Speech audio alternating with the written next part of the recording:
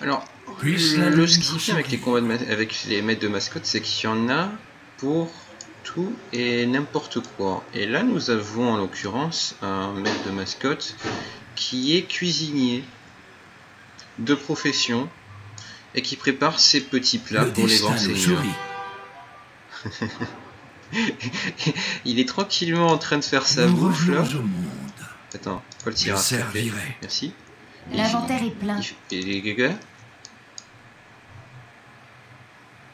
Ah bon, je m'en je m'en fous.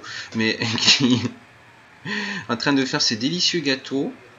Euh, c'est de la gelée ça? Je sais pas, on va commenter la qualité graphique. Je ne peux pas en apporter plus. Mais, mais ferme-la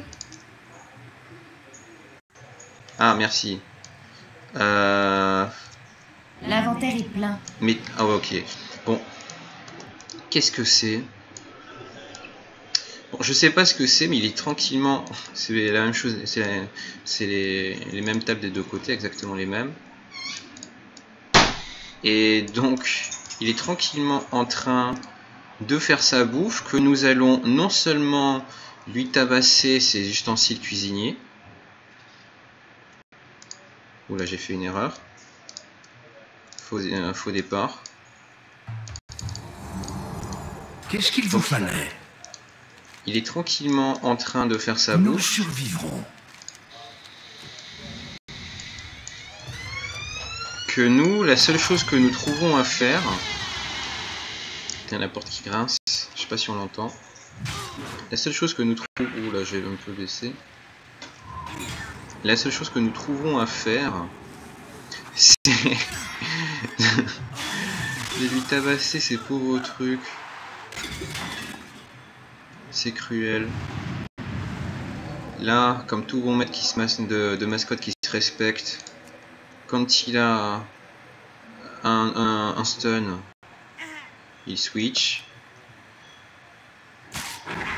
Là, ouh là là là là là,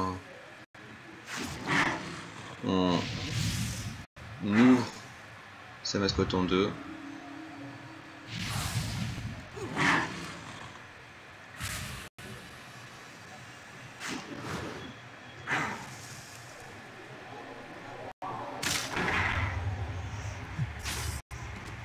Hop. Là, on va prendre du dégât. Hélas.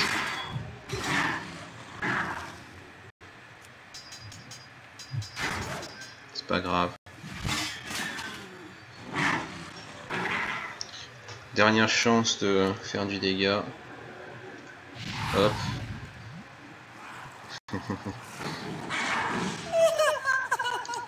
On fait péter sa bulle avec le camurlotte.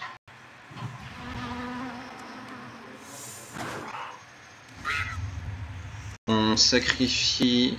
Oui, on sacrifie, hein, je suis comme ça, moi.